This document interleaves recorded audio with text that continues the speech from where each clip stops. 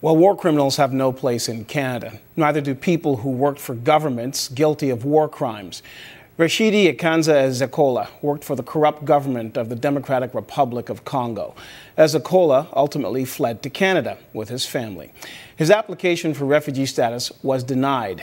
Ezokola's case has wound its way through our judici- judicial system all the way to the Supreme Court. Jessica Hume in our Ottawa studio is watching this case for developments, and she joins us now from our parliamentary bureau. Jessica? Hi, Brian. So that's right. What happened this morning was the Supreme Court of Canada essentially granted the appeal for this man, uh, Rachidi Ezokola.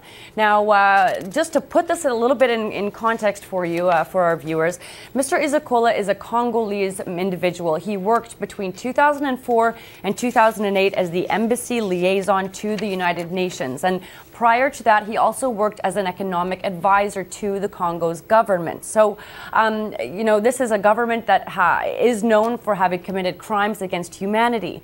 So, when Mr. Ezokola, he said he did, does not support the government, and when that lack of support for the government became known within the country, he says that's when he began receiving threats uh, and intimidation, not just from the government, but also from the government's uh, intelligence communities. So, as you mentioned, he fled to Canada and arrived in Montreal Montreal in 2008 with his wife and eight children, and that's when they filed their claims for refugee status. Now, the Immigration Refugee Board actually rejected those claims. Uh, he, uh, Mr. Ezokola, was able to bring his case to the federal court where he was successful but lost on appeal. So, what happened today, uh, Brian, and I want to be clear here the, the Supreme Court wasn't ruling on whether Mr. Ezokola is guilty or not guilty of any of these crimes against humanity, but the reason behind their ruling is that they say that the initial test conducted by the Immigration and Refugee Board was the wrong test for Mr. Ezokola. So what the IRB did what what did when they were looking into his uh, claim for refugee status,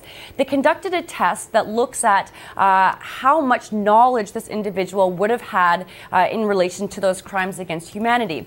The argument here, of course, is you know this is a man who worked for the government, who defended the government. How could he be unaware of crimes against humanity committed by that government? But what the Supreme Court said today was that this is not the right test. In fact, the test the IRB should have been conducting was uh, to see the extent to which Mr. Ezokola participated in those crimes against humanity. So nobody was really vindicated today, Brian. What happened was that the Supreme Court essentially said the IRB, you did the wrong test. They've kicked it back to the IRB where now they're going to have to proceed forward using the correct test. So again, now what they're looking into is the extent to which Mr. Ezokola would have participated uh, in those crimes against humanity. So it's not, uh, you know, this is not a case closed.